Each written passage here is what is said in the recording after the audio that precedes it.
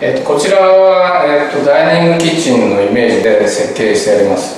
あのオープンなイメージを、えー、計画中の時は、えー、ご要望されますので実際ここには物を置かないで済むダイニングキッチンを実現しています。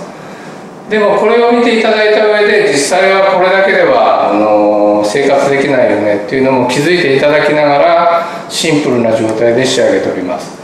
でこの状態からですね見上げてロフトが欲しいとかですね多くの要望が出ますのでそういった形の、えー、よく出る夢の要望のものを実際に実現化しています。ですので、まあ、これで OK という方であればこのまま採用していただければいいですしちょっと現実的にもっと物とかも置かなきゃいけないよねっていう話であればそれは、えー、ここで応用を聞かせて、えー、実現していただければなと思います。ここでは、えーと、ここに生えてたヒノキも使ってますけれども自松ですね。国産材を多用して使ってますし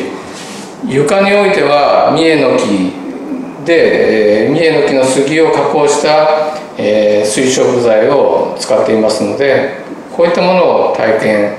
していただくこともできます。